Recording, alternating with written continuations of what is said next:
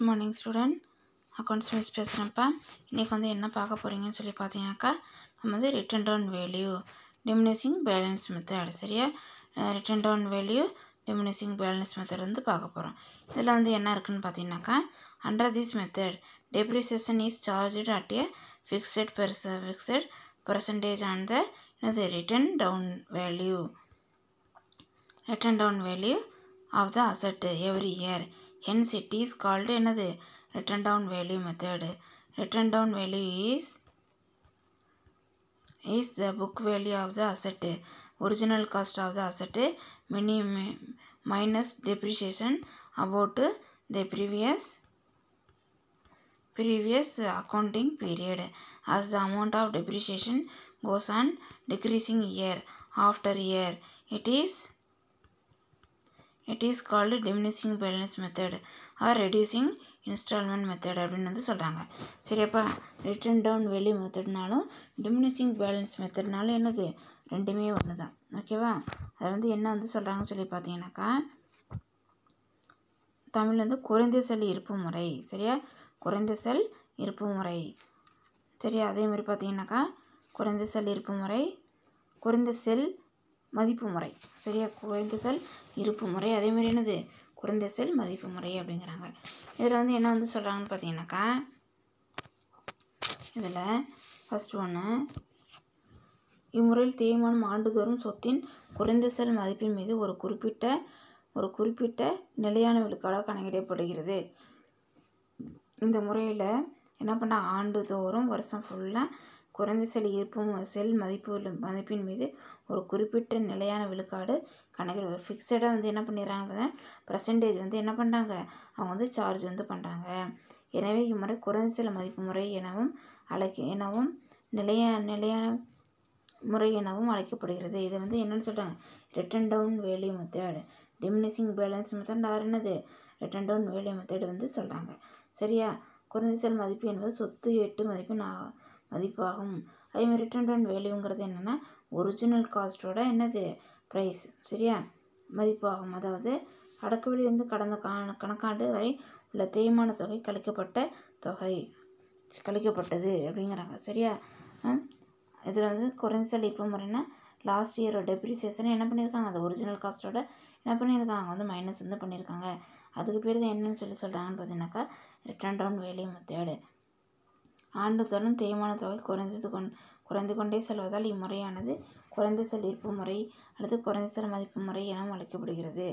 வருஷம் ஃபுல்லும் என்னாகுது? இதோட அமௌண்ட் வந்து டிக்ரீஸ் ஆகிட்டே போயிட்டே இருக்கிறதுனால என்ன ஆகுதுன்னு சொல்லுவேன் இம்முறை வந்து எப்படி வந்துருக்கு? குறைந்த செல் இருப்பு முறை அல்லது குறைந்த செல் மதிப்பு முறைன்னு சொல்லி என்ன பண்ணாங்க அது வந்து சொல்கிறாங்க அதேமாரி நெக்ஸ்ட்டு பார்த்தீங்கன்னாக்கா டூயினால் the fo following formula is used to compu compute the rate of என்ன depreciation rate of depreciation under என்னது?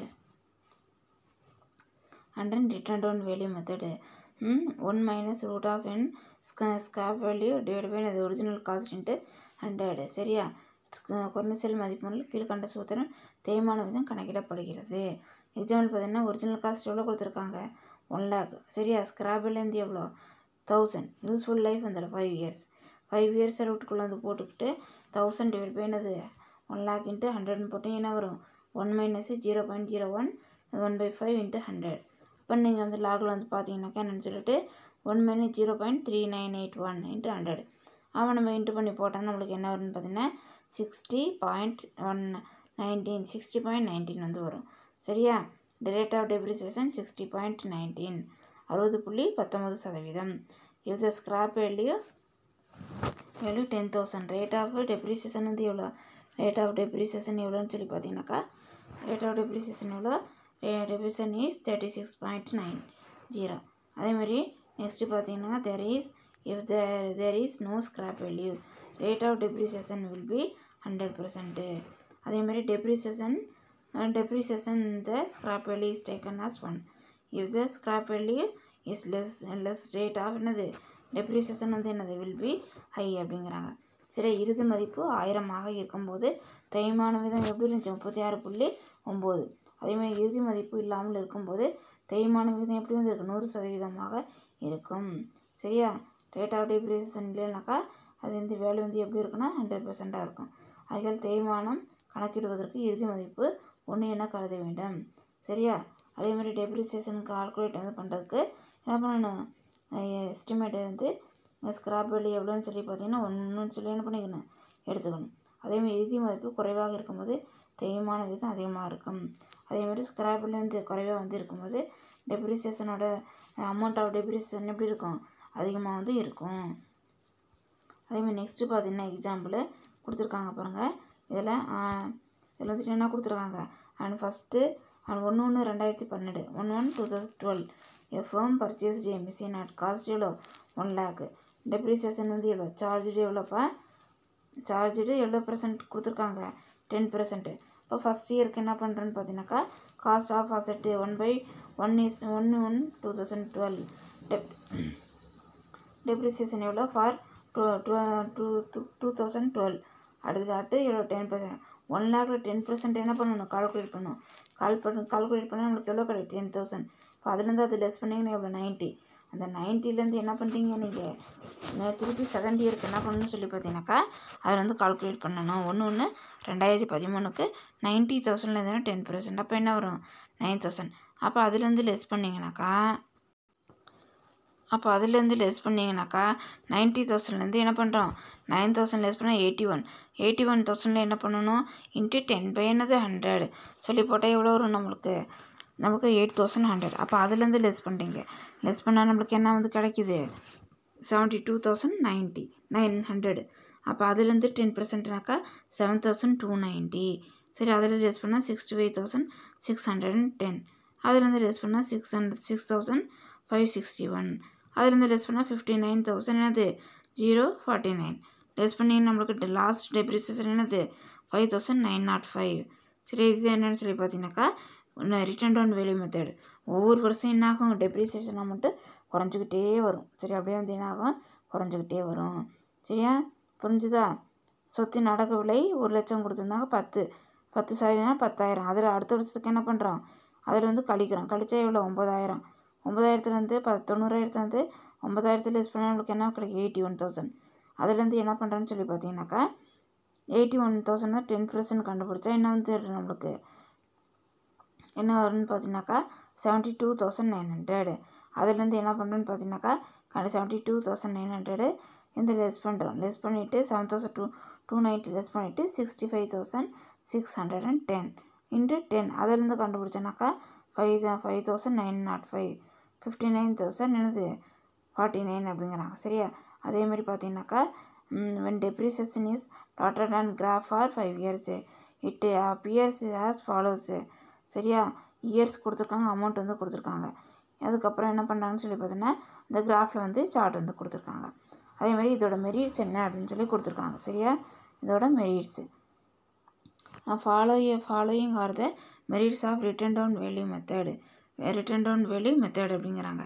ஈக்குவல் சார்ஜ் அகேன்ஸ்ட் இன்கம் இந்த initial year depreciation is high and repair charges are low when the asset become older. The older the amount of depreciation charged is less less put repair the charge.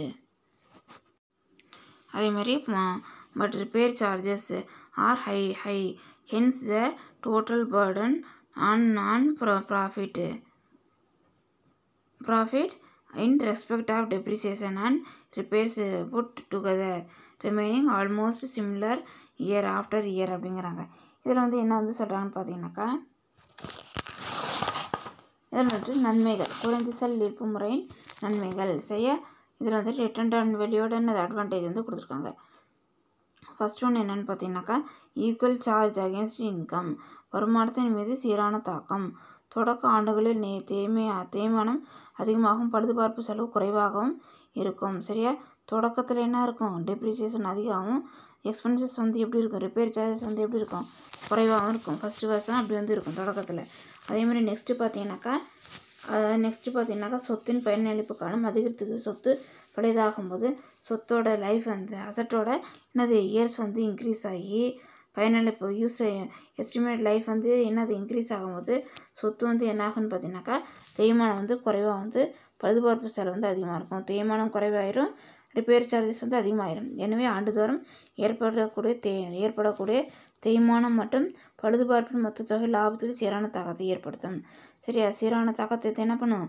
ஏற்படுத்தும் அப்படிங்கிறாங்க.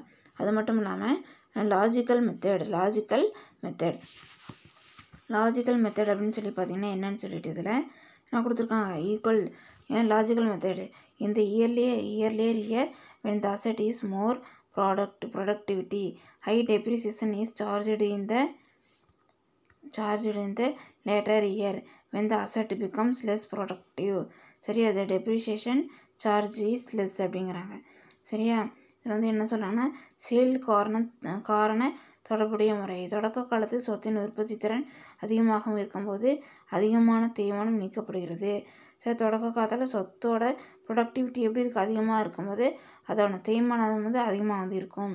பின்வரும் ஆண்டுகளில் சொத்தின் உற்பத்தி திறன் குறைவாக இருக்கும். சரியா? பின்னாடி வர வருஷத்தில் வந்து சொத்தோட உற்பத்தி திறன் ப்ரொடக்ஷன் பண்ணுறது எப்படி இருக்கும்? குறைஞ்சிரும். அது வந்து டேமேஜ் ஆக ஆக என்ன ஆயிரும்னா ப்ரொடக்ஷன் வந்து எப்படி ஆயிரும்? டல் ஆயிரும். சரியா? இருக்கும்போது குறைவாக தேய்மானம் நீக்கப்படுகிறது. அப்போ டெப்ரிசியேஷன் என்ன ஆகும்? குறைவாக தான் வந்து இருக்குங்கிறாங்க. அடுத்தது பார்த்தீங்கன்னாக்கா லிமிட்டேஷன் வந்து கொடுத்துருக்காங்க.